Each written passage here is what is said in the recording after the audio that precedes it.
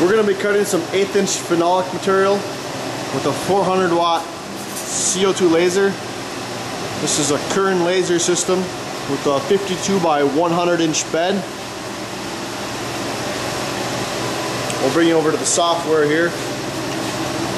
We're using the Corel Draw program to draw our shapes. We got a circle with uh, radiuses, straight lines, and we send it over to the laser machine. Here's the laser machine software, and that's it go.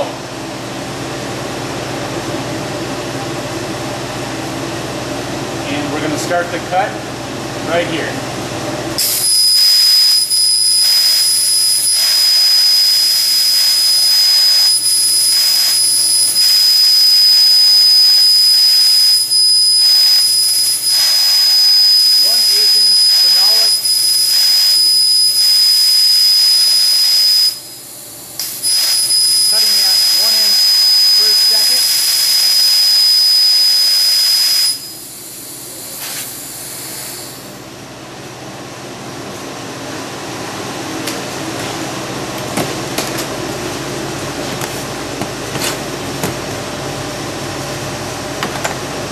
Very nice cut.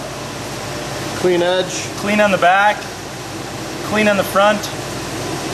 That's eighth inch phenolic with a 400 watt laser system from Kern Lasers.